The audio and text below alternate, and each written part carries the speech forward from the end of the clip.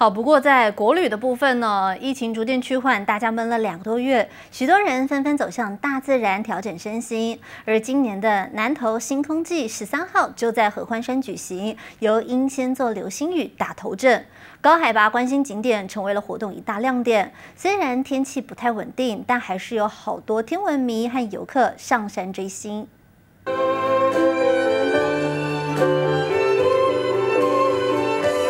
随着悠扬音乐，心情也跟着放松许多。等一会雨停了，还可以坐在草地上欣赏美丽夜空。我知道我们的暗空公园刚通过国际的认证，我非常喜欢音乐，所以我就邀请我的先生一起来欣赏这样一个难忘的夜晚。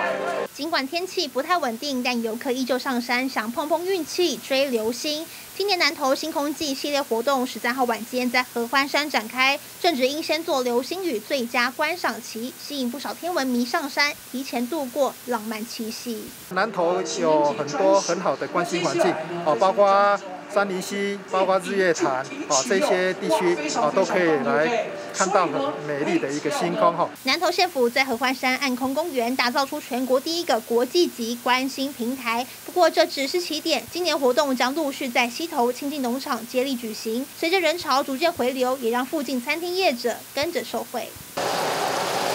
火快炒，加入九层塔，马上就能盛盘上桌。游客闻香而来，亲近的特色餐厅人潮络绎不绝。谢福汉周围各个店家也做好防疫措施，要提供旅客安心的出游环境。点赞不成堂的报道。